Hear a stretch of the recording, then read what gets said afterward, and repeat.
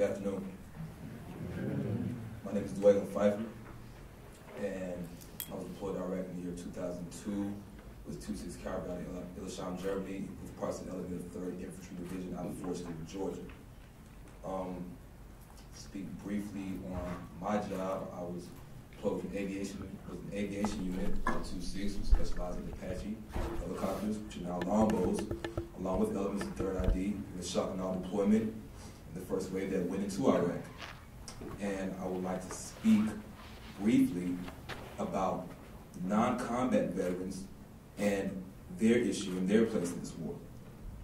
As my, as my fellow brother said earlier, um, you have non-combat veterans and combat veterans. And I want to leave you, if I don't leave you with anything else, I want to leave you with this. I want you to sit down and I want you to ask yourselves, what does it truly take to kill someone? You have to squeeze your trigger on your rifle to kill someone. Or can you just sign a document? Can you radio personnel? Can you detail maps? Can you work with intel and intelligence? What does it truly take to kill someone? Now, given one act is not as gruesome as another, but it is equally as tactic. It's systematic, and you feel the same way after it's all said and done. Um, after I got back um, in 2003, I went to Fort Drum. Your mother sees it, your father sees it, your sisters and your brother it. You begin to do things which are formed from this anger that you weren't able to do overseas.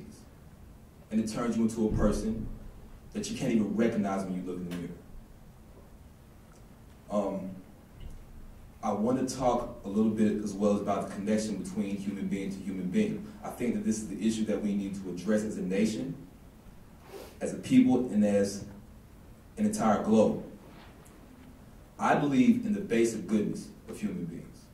Not everybody does, but I do. And I believe that this connection is undermined in our daily activities, in the ways we entertain ourselves, especially as Americans, in the way that we glorify war. War has become something that we glorify. We glorify death. We do it through our music. We do it through our movies.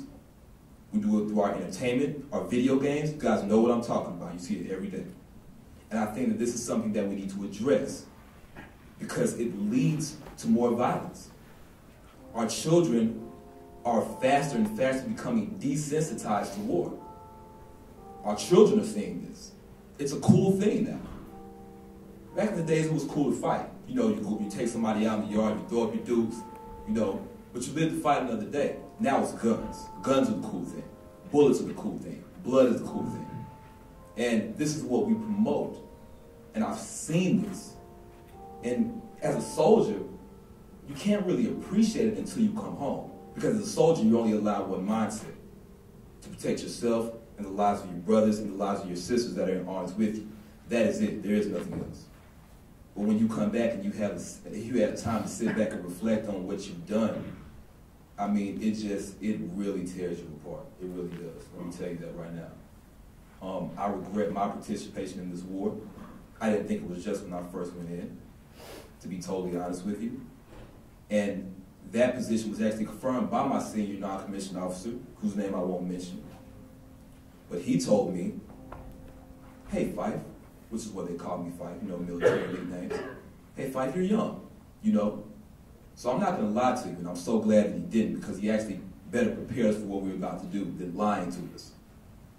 When you get back, I want you to sit down and I want you to research every aspect of this war, every single one. And I want you to decide for yourself whether you thought it was just or not. I had a feeling within my gut that I wasn't right as soon as I got there. And he even, he even admitted to me as a senior non-commissioned officer that he felt bad that he had to tell me that. But he couldn't bring himself to lie to me, and I always be grateful to him for that. Um, I also want to talk to you about the stain that this leaves on us and our moral injuries as individuals. Um, when you do things as a soldier and you come back, there's nothing really that you can do by yourself that will fix it. Which is why places like this are so necessary. So necessary. without the soul repair center that starts today, we won't be able to spread the word and take it out to other people so that they can realize that they need to take it to their locations, to their families. It has to start somewhere. These issues have to be talked about. Um, if you're not surrounded by a positive circle, especially a positive group of people, veterans who come back are, going to continue to be homeless. You all know the figures on that. They're going to continue to commit suicides. You all know the figures on that. And this is a recycled thing that's just going to keep happening and happening and happening and happening and happening. It's conditioning people. We are programming each other to kill each other. Prime example, Dr. Forbes, Reverend Forbes, beautiful speaker. As soon as he fell down, how many service members did you see just jump up just like that and run straight to the front? This is conditioning, people. It's training. It's not something you let go. It's not something you turn off. It's a part of your identity. And you can't turn it off.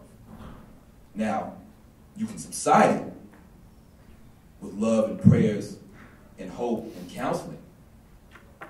But if you do not talk about this, I mean truly in depth, talk about this, and get family members and friends to see the same thing, we're just, we're just creating more problems for future generations to come. That's all I have to say. Thank you.